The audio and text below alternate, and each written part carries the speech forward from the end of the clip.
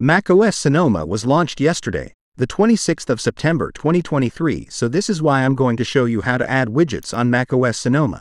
Widgets are small, interactive apps that can be placed on your desktop to give you quick access to information and tools. They're a great way to personalize your desktop and make it more productive. How to add widgets. There are two ways to add widgets on macOS Sonoma. Right-click anywhere on your desktop and select Edit Widgets.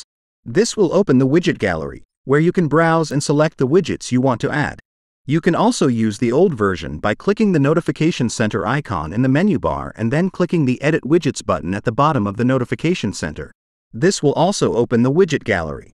Once you're in the widget gallery, simply click on the widget you want to add and drag it to a location on your desktop. You can also resize and move widgets around as needed.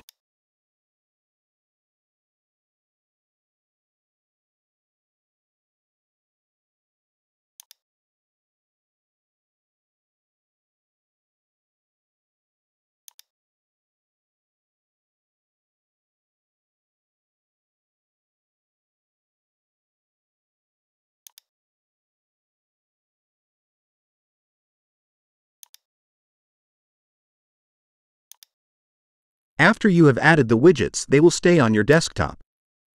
When you work on something, it will get grayed out so that you will be more focused on what you do. If you need to look on a widget, the only thing you need to do is click anywhere on the desktop image. This will bring all widgets and desktops in front of you.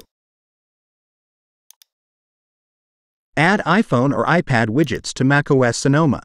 In addition to the built-in widgets, you can also add iPhone widgets to macOS Sonoma. To do this, you need to have the iPhone app installed on your Mac and you need to be signed in to the same Apple ID on both devices. To add an iPhone widget to your Mac desktop, you will just need to have the app installed. Popular widgets. Here are some popular widgets that you might want to add to your macOS Sonoma desktop. Calendar. This widget shows your upcoming calendar events. Weather. This widget shows the current weather conditions and forecasts for your location. Notes. This widget allows you to create and edit notes. Reminders. This widget shows your upcoming reminders. Stocks. This widget shows the current stock prices for your favorite stocks. Music. This widget allows you to control your music playback. News. This widget shows the latest news headlines. Battery. This widget shows the current battery level for your Mac and any other connected devices. Activity. This widget shows your daily activity levels. Customizing widgets. Once you've added widgets to your desktop, you can customize them to suit your needs. For example, you can change the size of a widget, move it to a different location, or even hide it from view. To customize a widget, simply right-click on it and select Edit Widget. Then, you can make the changes you want and click Done.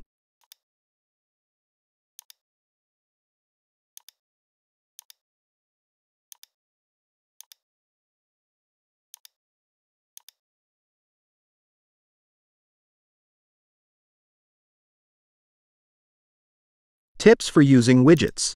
Here are a few tips for using widgets effectively. Add the widgets that you use the most. There's no point in adding a widget to your desktop if you're not going to use it. So, take some time to think about the widgets that would be most helpful to you daily. Arrange your widgets in a way that makes sense for you. You can group widgets by category, or you can scatter them around your desktop wherever you like. Use widgets to personalize your desktop. Widgets can be a great way to add your personal touch to your desktop. For example, you could add a widget that shows your favorite photos or a widget that displays your favorite quotes. Don't be afraid to experiment with different widgets. There are many different widgets available, so don't be afraid to try out different ones to see which ones work best for you. Widgets are a great way to personalize your macOS Sonoma desktop and make it more productive. By following the tips in this video, you can easily add and customize widgets to suit your needs.